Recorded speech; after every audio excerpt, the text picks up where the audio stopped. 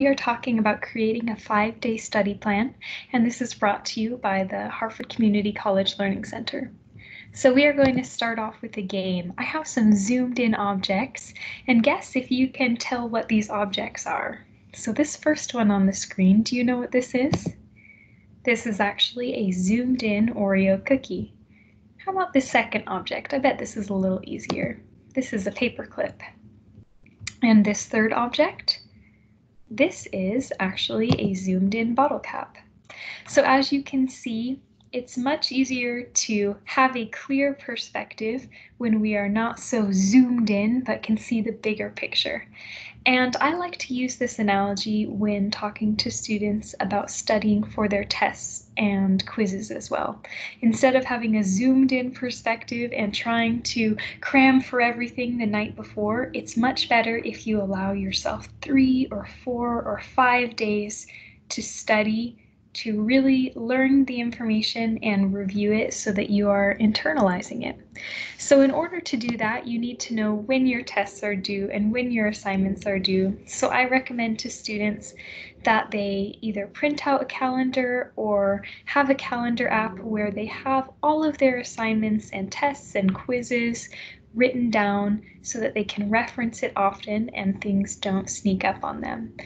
For example, if this student knows that they have a math quiz every Thursday, they can know that they should start studying for that math quiz, probably not on Wednesday, but also be studying it for on Monday and Tuesday and perhaps even on Friday. So it takes a little bit of planning, but coming into creating the habit of making study plans will really help you as a student. So whether you're creating a study plan for a final or a quiz, here are some strategies I can share with you. The first strategy is to create a topic list. Identify what topics would be on the test or quiz, what topics have you covered, what things were most important, and then the second thing is to assess your knowledge. What topics do you feel really good about, you understand, and what topics are you a little shaky on and you still have questions about? Once you identify what topics there are, how important each topic is, and your knowledge of the topics, then you can create a strategic study plan and decide how much time you want to spend on each one, and I think most importantly, how you will study and review each topic. So I have a PDF here for a five-day study plan, and you are welcome to download this from the description below and use it and adapt it to your needs. The idea is that you break your topics that you need to study into um, four categories, A, B, C, and D.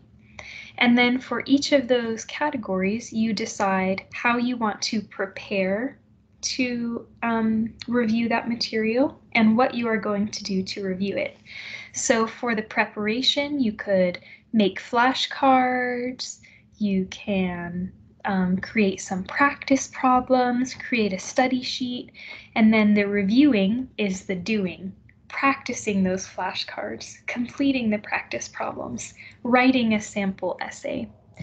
So when you're creating your five-day study plan, each day you can plan to prepare for something. So day one, prepare for part A and then review something. On day two, we are reviewing part A and preparing part B. If this all seems a little too technical, let's look at an example of how a student did it.